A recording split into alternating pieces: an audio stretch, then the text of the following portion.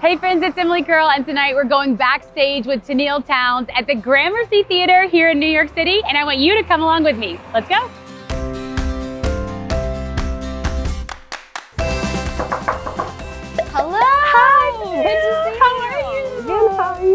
Can we come in? Come on in. Thank you so much for having us. Into the dressing room. This is a great space. Thank you. and you. now I feel like you've really set the mood in here. Did you guys bring a lot of this stuff? Was it in the yeah, room? this is our vibe. You know, we like to make all the different dressing rooms kind of feel like home in a way. There's like, oh, this is my space today. So we bring all the Christmas lights because they're great all year round. And then these tapestries are ours. And we have this little Canada cape that I randomly got. The Canada cape, is it good luck? Is this I- a good luck it's charm? a little superstitious. Like we always have to have it up in the dressing room. It's yeah. gotta be there. Okay, so Tenille. We're here at the Gramercy Theater Yes. in New York City. So I loved New York so much, and I always love to get to play here. What is a show like in New York City compared to other other cities? There's always like a little magic around New York City. Like the fans are always amazing. And this show, I feel like, has been a long time coming for you. We've been waiting so long for this moment. I was messaging a couple of you guys this morning on Instagram. It's like May of 2020, I think, was when we were supposed to first have the show.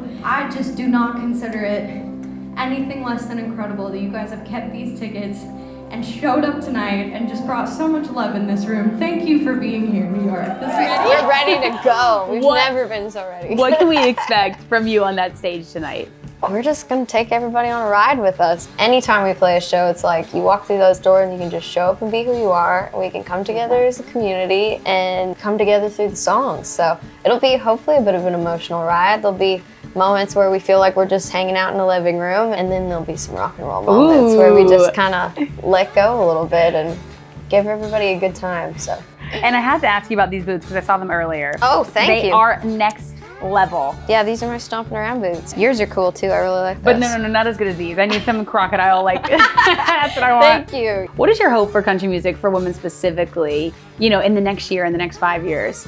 I mean, that people's stories just keep being heard, you know, and that we can just kind of keep lifting everybody's voices up.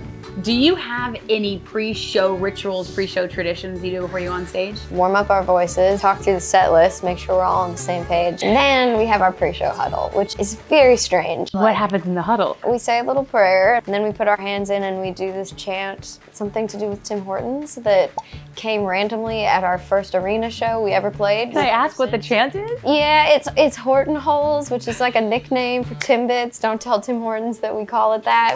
That's what we chant. We just say Horton Holes and we do it four times and we cheer. Then we all say, have a good show. See you we go. later. Yeah. For all your fans watching, if you could send one message to them right now, what would it be? Mmm. Keep being you, because you're awesome. It's not another one of you, you know? But yeah, we love to bring the vibe with us wherever we go and make it feel like home. All right, it's time for the show. Let's go.